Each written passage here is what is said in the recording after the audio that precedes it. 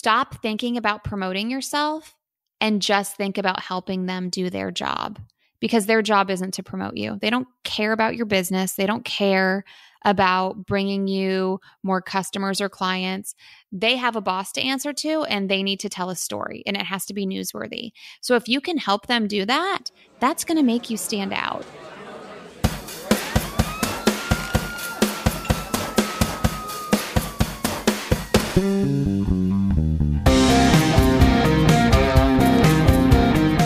In Napoleon Hill's timeless classic, Think and Grow Rich, he defines a mastermind group as the coordination of knowledge and effort between two or more people for the attainment of a definite purpose. In this podcast, that coordination is created between you, me, and our amazing guests. Our definite purpose is achieving extraordinary results in your business and your life. I'm your host, Brad Mulvey. Welcome to the Millennial Mastermind Podcast.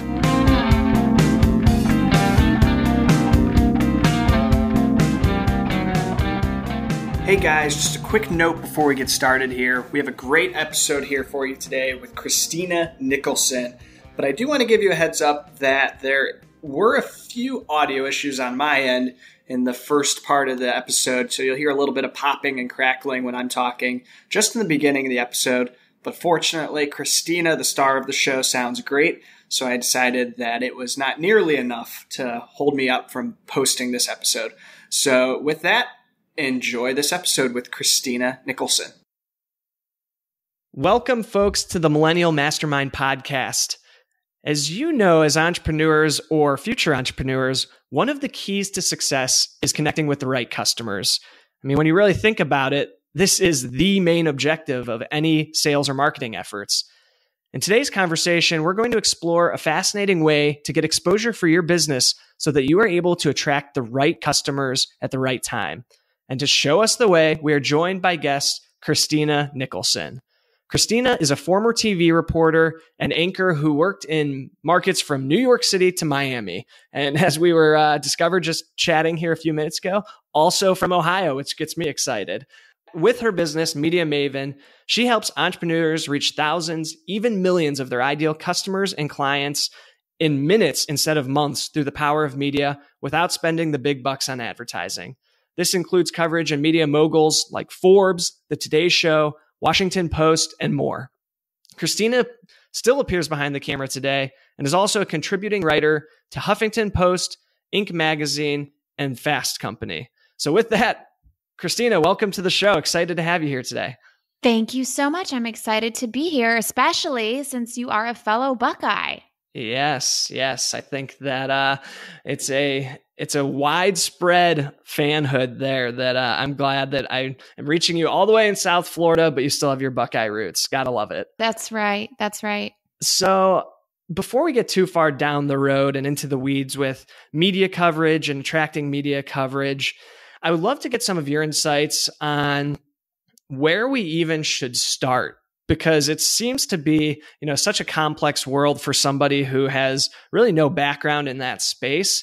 And when we think about new businesses who are just getting off the ground, it seems like a pretty daunting task to attract some of these larger media outlets to really want to want to give have coverage on what you're up to and what you're doing. So we'd love to get your insights on, you know, where do we even start to look for this type of stuff? Yeah, and you're totally right. Um, and for two reasons one which is valid and the other one which is not valid the i'll, I'll start with the reason that is not valid people put this idea of earning media on such a pedestal that they don't think it's obtainable for them. They think they need to be established with a big brand and already be making money and be super successful to get media coverage. And that is not the case. I have helped small business owners, even small business owners who haven't been making any money in their business, make um, money after they're earning publicity because that's how they are being introduced to people. So I just want to bust that myth that because I know people are listening right now and they're thinking, oh, but it's not for me. I'm not ready yet. If you're ready to accept a new client or a new customer into your business, then you are ready for media coverage. Um, but you do need to have something to share with the media. and they're not going to promote you. That's the biggest mistake people make is they think it's the media's job to promote them and they think they're going to get a free commercial and that's not how it works. You actually have to have something newsworthy, some kind of story to tell. And you know, we can talk about some examples and some work that I've done with um, small business owners as they start out, but you definitely need a jumping off point. If it's not a website, maybe a landing page or even a Facebook page, something that's super easy to set up, somewhere that you have a presence. Because if you do want to pitch the local media to start, for example, and they Google you and they can't find anything, or they look at your website and it's super outdated, um, then they're going to think twice about promoting you because it's a reflection on them. And they definitely want to show, hey, we're bringing this person on because they're an expert in their industry. That's why we're interviewing them. That's why we're quoting them, whatever the case may be. So you do want to make sure you are set up already somewhere online in some way, shape, or form that if somebody did want to do their due diligence and check you out, you would do okay. Well, that's that, that that's timely that you mentioned that because we just posted an episode a couple weeks ago, episode 111, with a gentleman named Mike Young who talks about visual branding. So I encourage anybody who is interesting interested in figuring out that visual brand before approaching the media to check out that episode to at least make sure you've got some web presence and it looks professional and, and in the is in the fashion that it needs to be to attract these folks. So is there bad media or what qual or if if so what qualifies good versus bad media or what should people be looking for Okay, that's a good question because a lot of people too, they get really nervous about earning media exposure. And this is why I actually tell the small business owner, it's easier for you because let me tell you, the bigger businesses, they are so scared and so nervous that they are turning down a lot of opportunities or they're missing opportunities. And that's because they are afraid of that bad media. Because again, you're not paying for this coverage. You're pitching an idea, and the journalist is going to do a story, and they're going to include you in the story. So you don't get to see the story before it's aired or printed or published. Like you're just there because you're helping the journalist do their job and it's benefiting you. So great. Um, but a lot of these bigger businesses, you know, it's like, oh, if we do an interview, we need to go through the lawyers and we need to do this and that.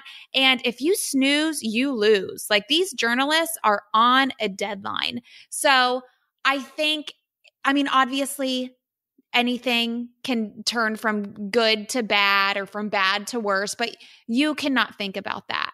Um, you just need to think, hey, this is my expertise.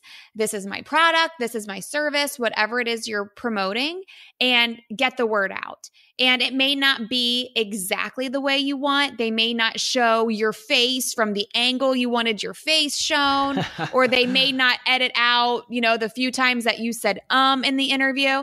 But that's not what it's about. So you can't think like that. Um, so it's definitely something that you need and you need to ignore the fears of what it's going to look like when it's done because nine times out of 10, it's only going to help you because you're going to be reaching people that didn't know about you before. Sure. So I, I love what you said there that you just got to eh, get past that fear, get put yourself out there, take advantage of these opportunities because they are out there and let's dive into that a little bit. Where can we go to start looking for these opportunities and finding those reporters or those media outlets who are looking to feature somebody like those folks who are listening in their businesses and um, get a little bit of their insights and their expertise? Okay, so I think before we even reach out, we need to have a goal. We need to okay. be strategic. We're not just going to throw a bunch of stuff at the wall and hope something sticks, which honestly is what many people do and they end up wasting a lot of time because they don't slow to grow. So, first think about your goal. If you are a local business with a local brick and mortar, then you're going to want to get in front of local people. If you are an online business, then you're going to want something online or something, you know, like this on a podcast where anybody can listen anywhere. Um, because you don't want to earn publicity and media just for the sake of it. You actually want to see a profit from the time and the effort that you're putting into it. So mm-hmm. start with your goal. Where do you want to be? And then you branch out from there. Now, regardless of if you're online. Obviously, online and podcasts, yes, they're helpful. You reach more people. But remember, we talked about being newsworthy, and you are most newsworthy where you live. So even if you work with people all across the world, I would suggest starting local. Whatever your town is, if it's in Cleveland, Ohio, if it's in Columbus, Ohio, that's where you're going to have a better chance of earning coverage because you are the local entrepreneur to that area. So, for example, if you live in Cleveland, Brad, people in Cincinnati aren't really going to care too much about what you're doing because you have no ties to Cincinnati. So sure. you're more newsworthy in Cleveland. So, so, I would start small, start in Cleveland and work your way out. And just like we talked about your goal. So if your goal is to reach parents in the Cleveland area, then I would be checking out what are moms reading? What are they watching? What are they listening to? Um, moms are big on morning TV. So check out all of the TV stations in Cleveland and look at what they are airing in the morning because that's usually when they bring in the guests and they do the more fluffy news, not the hard news, and see what they're doing. Um, I can give you an example of how this worked for one of my media Please. mentoring clients. Yeah, because this will help put it into perspective. So, um, I have a media mentoring program where I kind of walk new entrepreneurs through the steps of becoming their own publicist. And this woman is based in San Diego and she wanted to work with more moms because she is a dietitian and her specialty is in kids and eating. So, we were going to focus on San Diego. We looked at morning TV because that's what moms are watching. And we said, okay, we need to be timely. So that's another tip. You always want to be timely. That helps you with the newsworthiness because if you don't give the media a reason to do your story now, then they're not going to do it. They're just going to put it on the back burner. So we said, okay, it's back to school time. So let's do how to pack a lunch for a picky eater. Because a lot of moms can relate to the problem of their kids come home from school and they have their full lunchbox because they're not eating their lunch. So she pitched the idea and she said that she would come in with visuals. She would set up the table, show the food, because again, this is TV. And then she also included some stats in her pitch from, um, I think it was the American Academy of Pediatrics or something like that, where she talked about, you know, kids and picky eaters. And that showed that it was newsworthy. She had a credible source. Um, she had the visuals for TV. She was a local expert because she talked about how she was a dietitian and who she worked with. And she went in and she did a five minute segment. They put her website at the bottom of the screen. They put the story on their website and they link back to her. They shared it on social media. So just that morning, she got tons of hits. But then it extends for life pretty much because it's on their website and she can use that on her website and on her social media and on her marketing materials. So that's an example of how you can just use your expertise locally, find something that is timely, why the media should do that story right now, and how you can pitch it with things like statistics to show that it is newsworthy and it does have legs to earn coverage.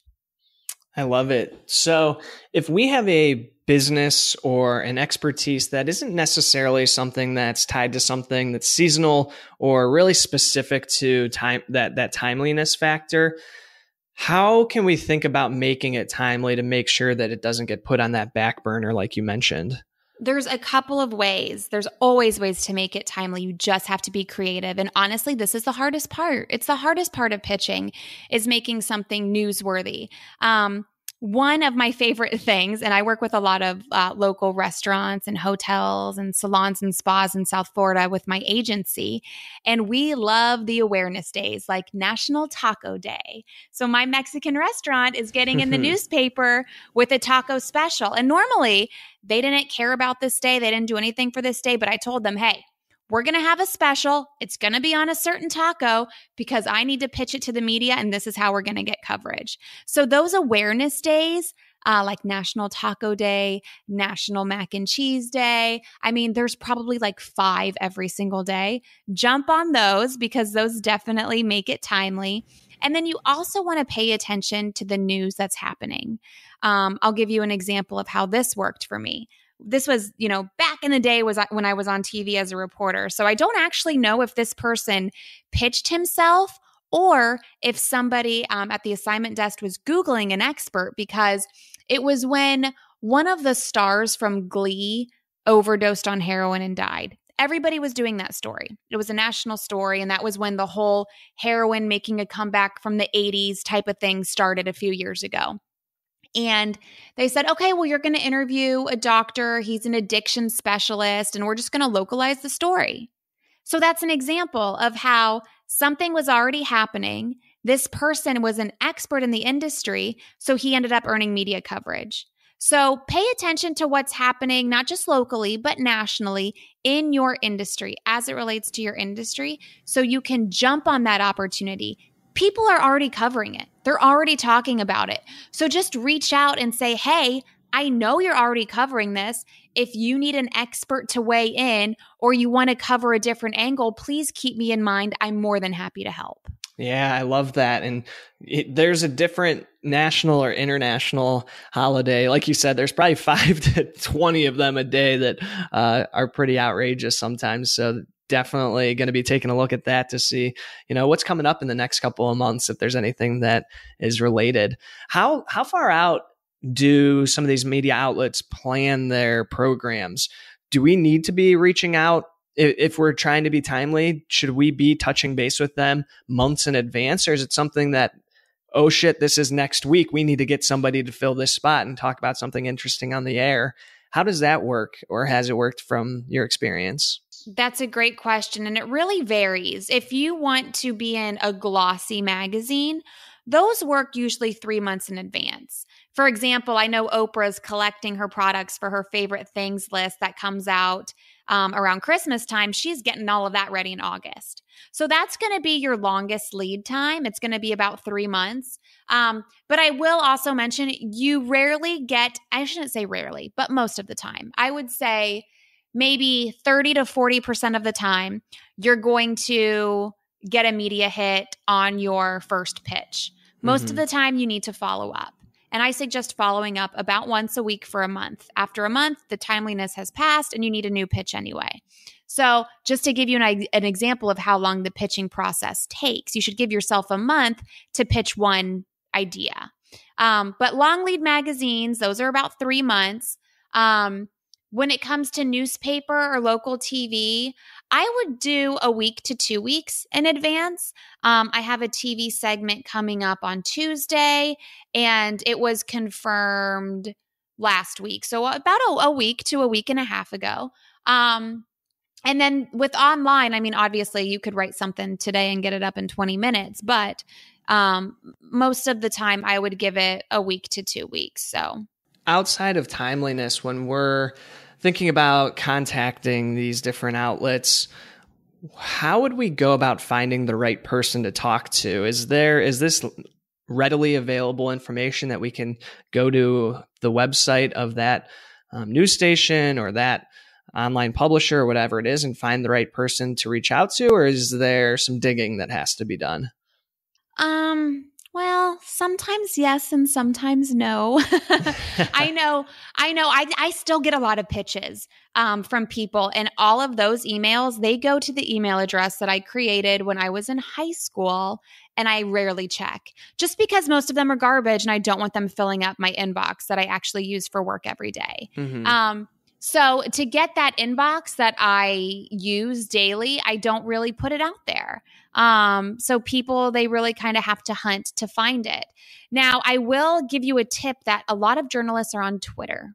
So if you get on Twitter and you search, you know, say you want to be in Forbes and you search Forbes, you can filter, you know, by people's bio if they put that they're a Forbes writer in their bio.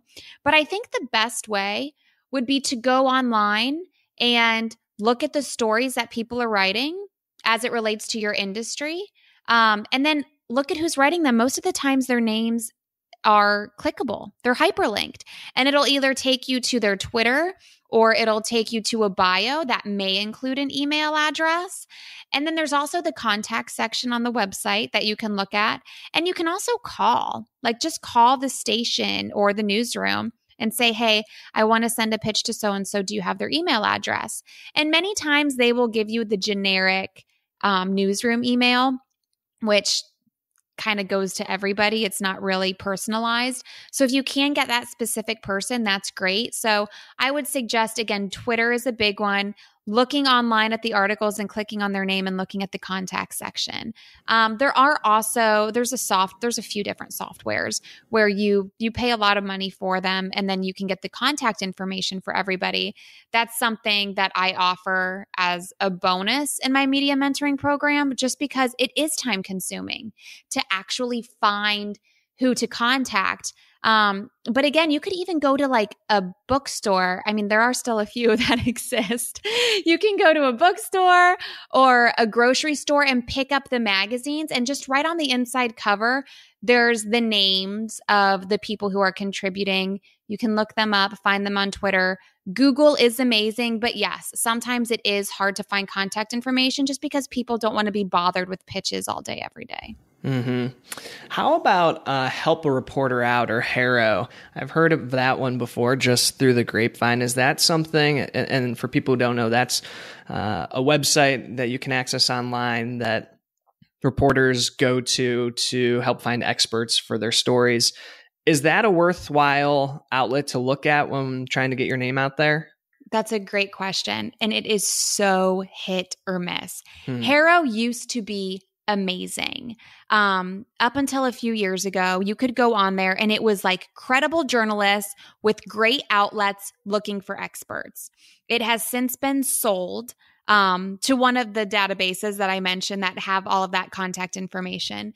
And since then, they really let anybody and anybody post on there. Hmm. And it's really gone downhill because you'll get somebody posting on there looking for, I mean, sadly a big trend is a lot of these bloggers who have, you know, like two people viewing their blog, they'll post on there, they'll say they're doing a Christmas roundup and they'll tell you to mail them all of their products to get included on the blog. Sure. When nobody's reading their blog, they just want a bunch of free crap. So that's yeah. something you run into there.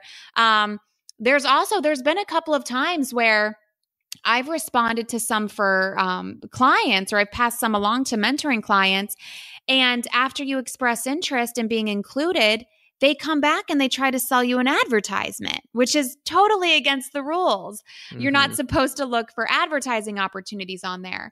However, with that said, there are still some great outlets and great journalists who use HARO to look for those expert sources. And I know many people who have gotten, myself included, my clients included, who have gotten great coverage by responding to HAROs.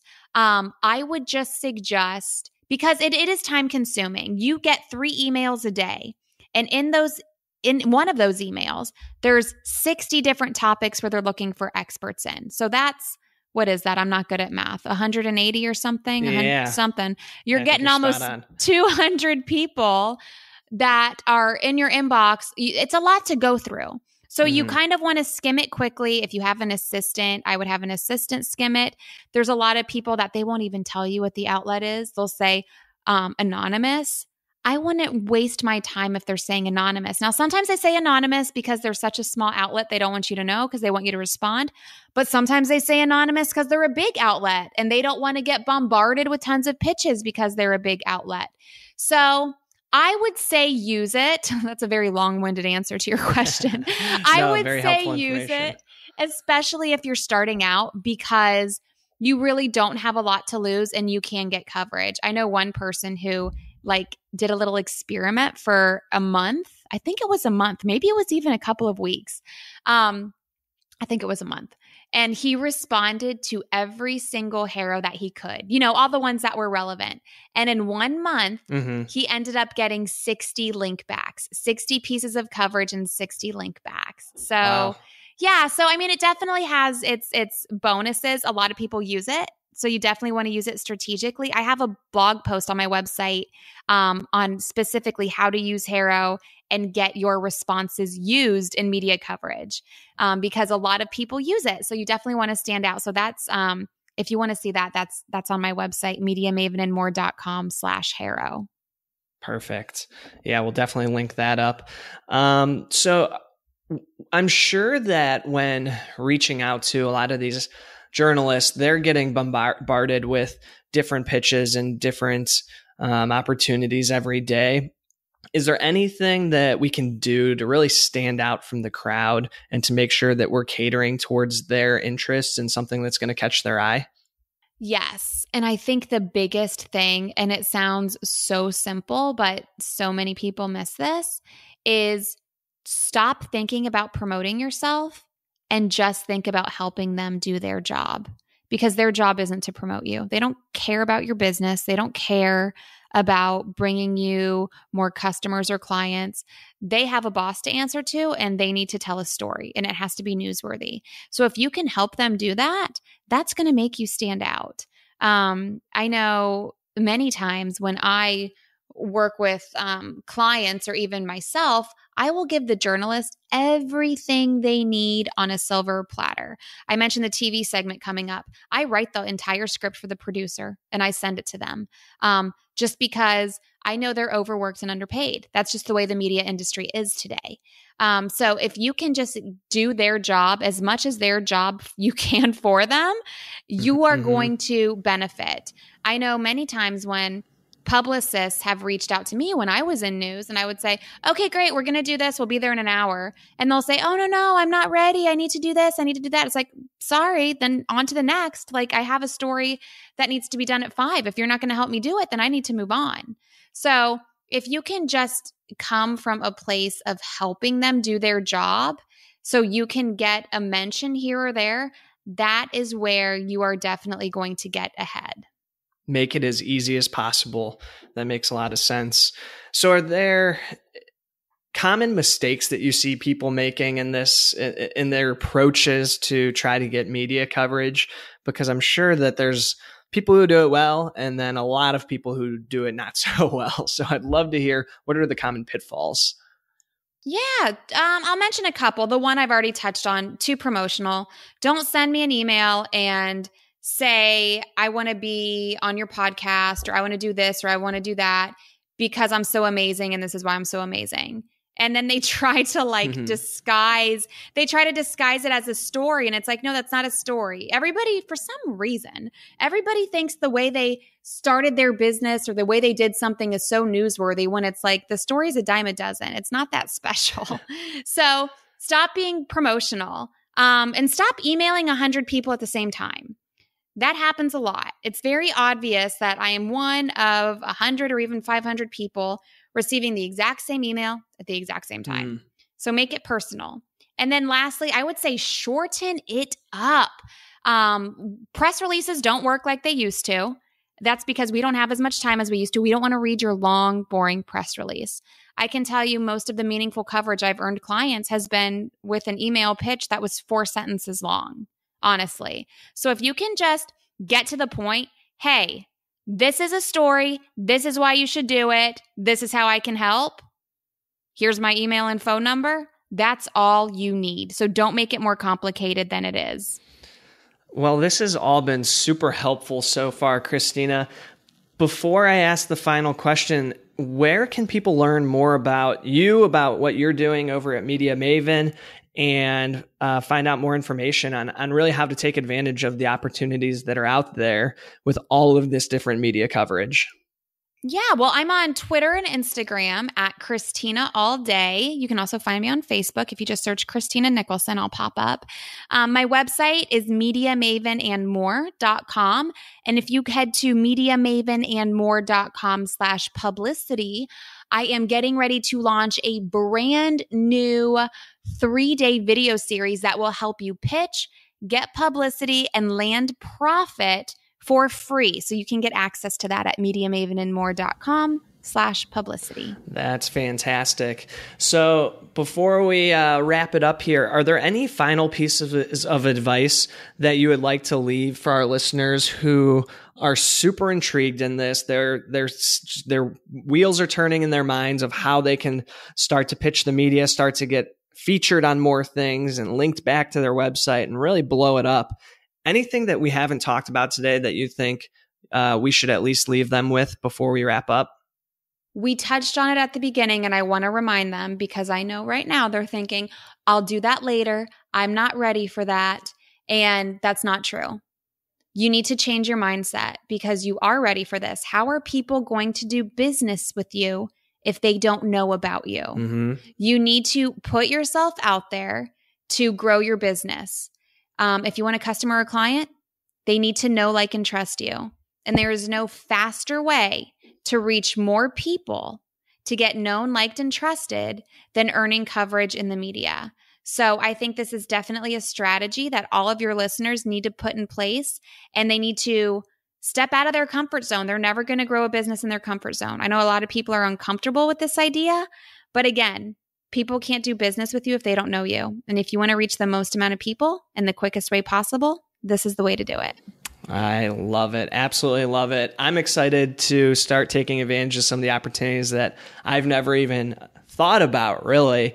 Uh, so thanks so much, Christina, for the time today. I think that this was a hugely uh, important conversation for us to share and, and just great information for everyone who's listening and myself included to know about. So appreciate your uh, generosity with your time and sharing your your expert industry knowledge so that we can take advantage of all the great opportunities that are out there.